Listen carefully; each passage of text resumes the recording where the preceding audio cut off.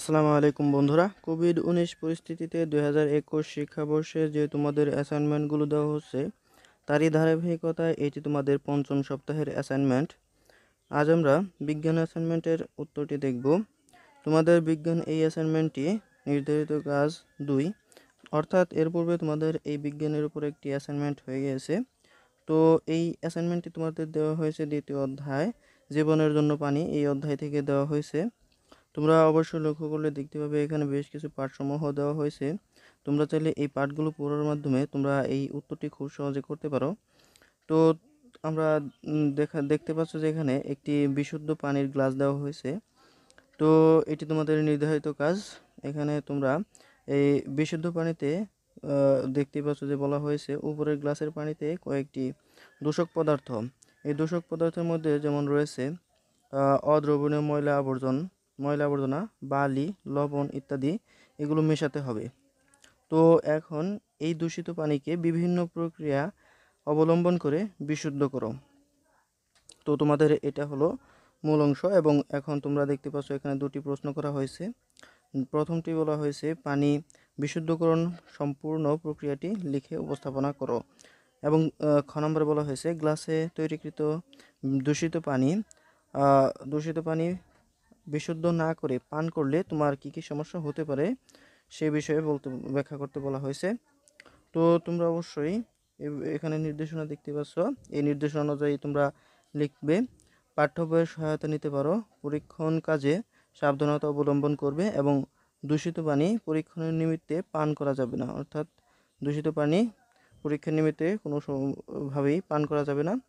তো তোমরা অবশ্যই অতি উত্তম মার্কস পেতে হলে এই বিষয়গুলো লক্ষ্য রাখতে হবে।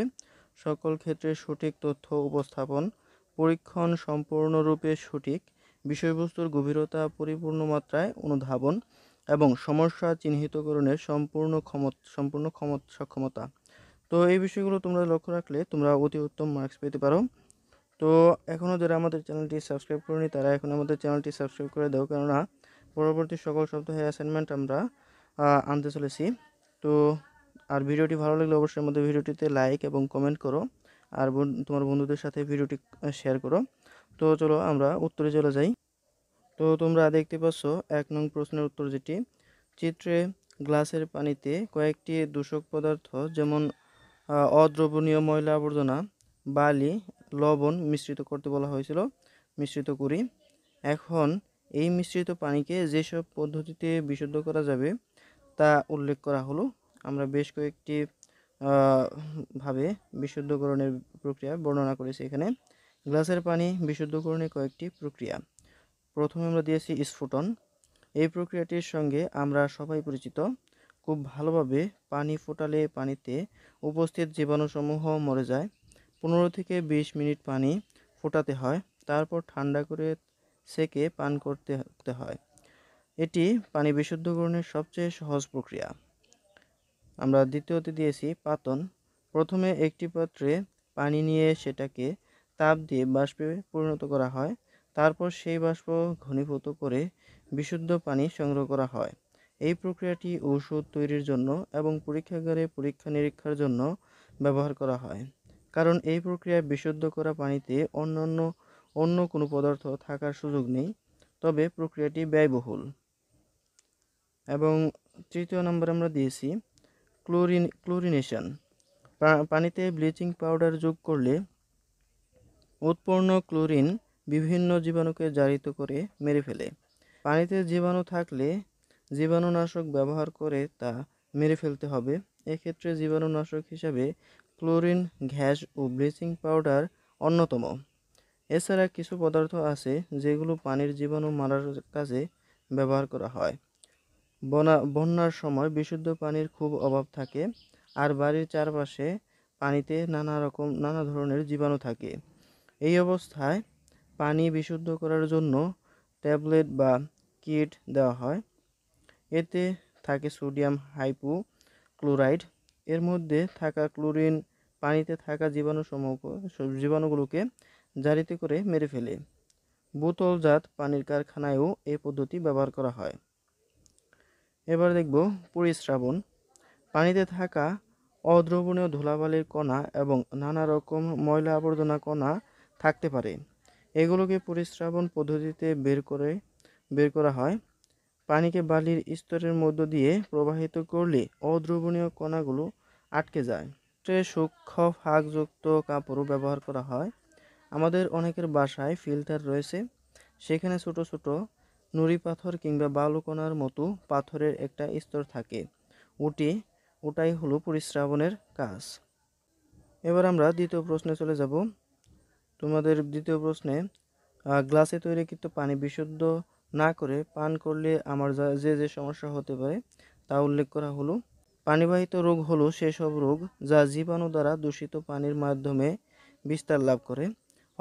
অর্থাৎ অপরিশুদ্ধ পানি পান করার মাধ্যমে অথবা সেই পানি বিভিন্ন কাজে ব্যবহারের ফলে যে ধরনের ব্যাধি সংক্রমিত হয়, তাকে পানিবাহিত রোগ বলে। অনেক ধরনের পানিবাহিত রোগ রয়েছে, যেমন ডায়রিয়া, কলেরা, আমাশয়, টাইফয়েড ও জন্ডিস। ব্যাকটেরিয়া, ভাইরাস প্রভৃতি জীবাণুসমূহ মাধ্যমে ডায়রিয়া রোগ ছড়ায়। কলেরাও একটি মারাত্মক রোগ। দূষিত জীবাণুযুক্ত পানি পান করলে এ রোগ হয়। পাতলা পায়খানার সঙ্গে পাতলা পায়খানার সঙ্গে প্রচুর বমি, কলেরার লক্ষণ, সালমনেলা, টাইফয়েড এবং প্যারাটাইফি নামক পানিবাহিত জীবাণুর কারণে যে রোগটি হয় তাকে টাইফয়েড বলে। জন্ডিস একটি পানিবাহিত ভাইরাসজনিত রোগ। এটি লিভারকে নষ্ট করে ফেলতে পারে। জন্ডিসের ফলে রোগের মৃত্যু পর্যন্ত হতে পারে। বেশিরভাগ পানিবাহিত রোগের লক্ষণ হলো পাতলা পায়খানা, বমি, জ্বর ও পেট ব্যথা। সুতরাং বলতে পারি, উপরিউক্ত দূষিত পানি পান করলে এসব রোগ হবার অনেক সম্ভাবনা থাকে। আশা করি আসসালামু আলাইকুম বন্ধুরা কোভিড উনিশ পরিস্থিতিতে দুই হাজার একুশ শিক্ষাবর্ষে তোমাদের যে অ্যাসাইনমেন্ট দেওয়া হয়েছে তারই ধারাবাহিকতা এটি তোমাদের পঞ্চম সপ্তাহের অ্যাসাইনমেন্ট এই সপ্তাহে তোমাদের ইংরেজি অ্যাসাইনমেন্ট রয়েছে। আর এর পূর্বে তোমাদের ইংরেজি একটি অ্যাসাইনমেন্ট হয়েছিল যার দরুন এটি তোমাদের অ্যাসাইনমেন্ট নম্বর দুই। এবং এটি দেওয়া হয়েছে তোমাদের ইউনিট টু থেকে পাঁচ টাইমস চলো আমরা অ্যাসাইনমেন্টে চলে যাই। এখানে তোমাদের কী চাওয়া হয়েছে দেখে নিই। তো তোমাদেরকে এই দ্বিতীয় ইউনিট থেকে যে ফার্স্ট টাইমস সেখান থেকে অ্যাসাইনমেন্টটি দেওয়া হয়েছে এবং তোমরা দেখতে পাচ্ছ এক থেকে পাঁচ পর্যন্ত লেসন দেওয়া হয়েছে। এই সকল লেসন থেকেই তোমাদের এই অ্যাসাইনমেন্টটি দেওয়া হয়েছে। তো তোমরা অবশ্যই দেখতে পাচ্ছ পাঁচ টাইমস সম্পর্কে বলা হয়েছে তোমাদেরকে।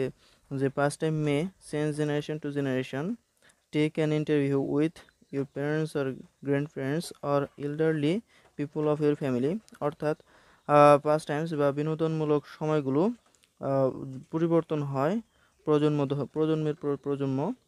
তো তুমি তোমার পরিবারের বাবা মা অথবা দাদা দিদি অথবা তোমার বড় যারা রয়েছে, তাদেরকে তুমি এই সম্পর্কে জানতে পারো তাদের বিষয়ে। Know about their first time activities অর্থাৎ তাদের অবসর সময় বা বিনোদনমূলক সময় সম্পর্কে তুমি জানতে পারো। And take notes on them এবং সেই সম্পর্কে তুমি নোট করতে পারো। Also think about the pastime activities of your generation এবং তোমার জেনারেশনে বা প্রজন্মে ফার্স্ট টাইম কীভাবে কাটায় সে সম্পর্কে তুমি লক্ষ্য করো। Write the difference and mention why this differences have taken place তুমি লেখো কী পার্থক্য হচ্ছে, ভিন্নতা আসছে এবং কেন? তো এ সম্পর্কে তোমাকে নির্দেশনা দেওয়া হয়েছে বেশ কিছু। তো তোমাকে প্রথমে টপিক বা টাইটেল দিতে হবে এবং দ্বিতীয়তে ইন্ট্রোডাকশন দিতে হবে।